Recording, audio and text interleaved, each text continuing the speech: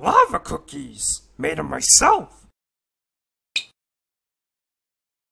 Happy Halloween! Uh, Star? Aren't you a little too old for Halloween? so cute.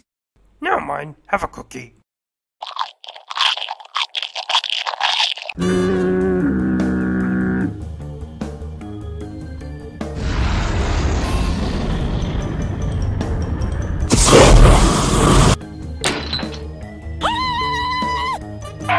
Sigh.